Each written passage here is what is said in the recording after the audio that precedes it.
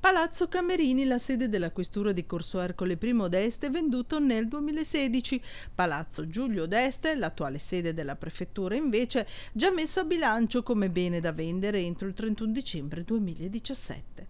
Per far quadrare i conti, l'amministrazione provinciale deve mettere all'asta i suoi gioielli e se nessun privato li comprerà, allora subentra un'agenzia del MEF, nata nel 2013, l'Invimit, che ha come obiettivo quello di investire in beni pubblici che siano già sede di servizi statali.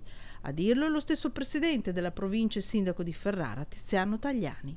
Senza mezzi termini, il presidente spiega che le operazioni sono necessarie per impedire che la provincia sfori conti e dunque entri in sanzioni, ma soprattutto che possa svolgere le sue funzioni. Se vogliamo avere eh, diciamo così, le risorse eh, no, non per fare quello che è necessario, ma per fare un decimo di quello che è necessario, dobbiamo chiudere i bilanci con tutto ciò che è possibile. Certamente eh, la disponibilità di Invimit a a rilevare contenitori affittati allo Stato è un'occasione importante per la provincia di Ferrara, così per, come per le altre province e credo che questa sarà la scelta. Del resto è la condizione che eh, abbiamo presupposto oggi votando, eh, adottando lo schema di bilancio di previsione 2017. Siamo una delle prime province in Italia a farlo, ma lo facciamo grazie alla disponibilità e alla decisione presa di alienare questo cespite.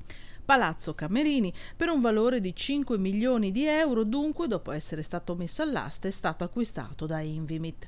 Ora però, per poter completare la procedura di vendita, l'amministrazione provinciale ha un obbligo, adeguarlo alle norme antisismiche, sottolinea il sindaco. Per noi è un po' più complicato perché prima di poterlo cedere dobbiamo eh, intervenire con la con, la, con la, dei lavori per la ristrutturazione sismica con i, le risorse del, del commissariato commissariato perché eh, se vendessimo senza, eh, senza avere provveduto a questo perderemo i finanziamenti regionali, quindi prima faremo l'appalto che peraltro è in corso e poi provvederemo alla vendita entro il 2017.